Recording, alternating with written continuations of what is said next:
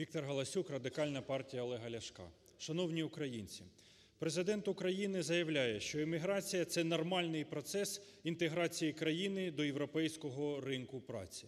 У нас з Олегом Ляшком і командою Радикальної партії абсолютно протилежне бачення на це питання. Ми вважаємо, що та багатомільйонна еміграція, яка відбувається з України, і не лише в країни Європейського Союзу, є ознакою абсолютно хибної економічної політики, яку сьогодні провадить влада. Залишають без роботи мільйони українців, що вони вимушені тікати за кордон в пошуках кращої долі для того, щоб прогодувати себе і свої родини. Це абсолютно ненормальна ситуація. Треба радикально міняти економічний курс країни.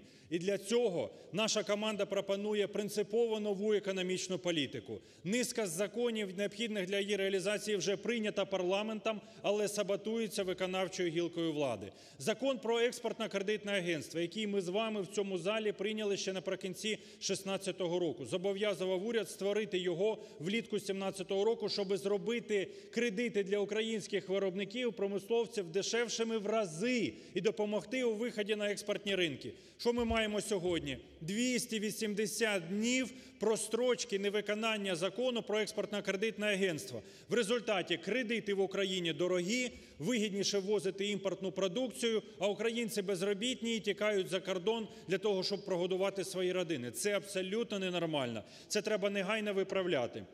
Індустріальні парки. Ми з вами в цьому парламенті прийняли в першому читанні за основу цю стратегічно важливу ініціативу для того, щоб надати податкові інвестиційні стимули в Україні тим, хто створює нові виробництва, тим, хто розширює існуюче виробництво, хто створює нові робочі місця.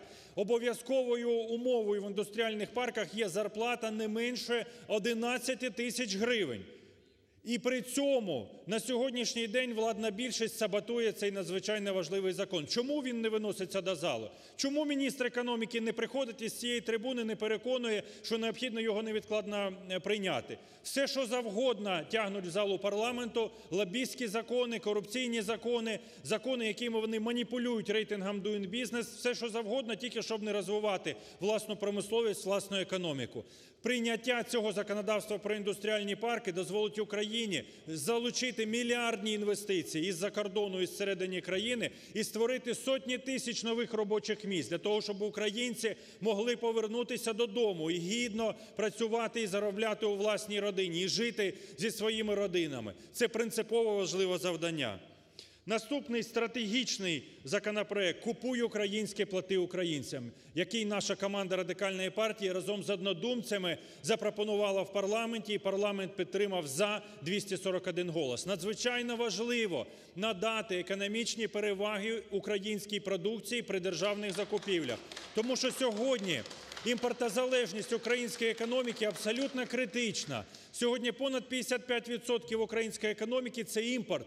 В США і Китаї це менше 20 відсотків. Тобто катастрофічна різниця в показниках не на користь України. На жаль, політика попередньої нинішньої влади перетворила Україну на сировинну колонію, коли ми постачаємо за кордон сировину за безцінь, талановитих людей, робочі руки, а взамін отримуємо імпортні товари, які купуються в борг на закордонні кредити. Це абсолютна модель, яка не здатна забезпечити успіх, незалежність, суверенітет України. Ми категорично не згодні з цією сировинною моделлю, яка робить українців заручниками, яка породжує бідність, еміграцію, корупцію, залежність від кредитів МВФ. Наша команда пропонує докорінно змінити цей економічний курс.